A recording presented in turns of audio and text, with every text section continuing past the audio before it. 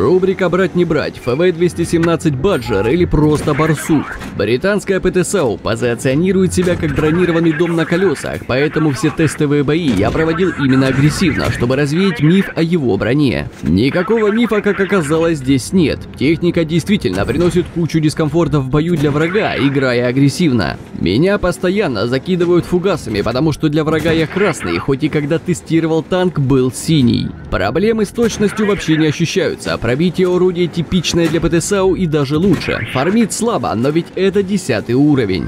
Барсук явно не для кустов. Смысл там какать, если вы не пользуетесь его броней и пулькаете по 450 урона в минуту. Реализовывать ДПМ нужно на первой линии. Единственное, чего не хватает, это максималки, которую, кстати, добавят в следующем обновлении. Ответ брать, если любитель острых ощущений, и брать можно всем, если вы дочь миллионера.